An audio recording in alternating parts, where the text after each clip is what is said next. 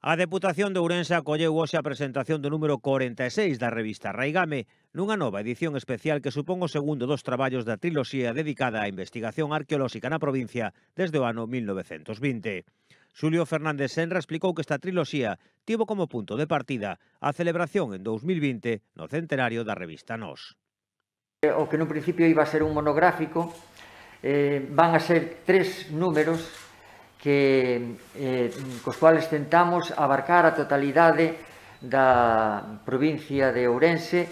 e todos os traballos, ou a maioría deles os máis importantes, realizados dende o ano eh, 2020, perdón, 1920 até o 2020. O número 46 de Reigame inclúe traballos sobre os castros e os campamentos romanos da provincia. Os responsables de Reigame xa están a traballar no terceiro volume da triloxía, que se publicará no mes de decembro aínda que con anterioridade, en maio, sairá a luz un monográfico sobre o poeta valdiorrés Florencio Delgado Gurriarán, ao que se lle dedica este ano o Día das Letras Galegas.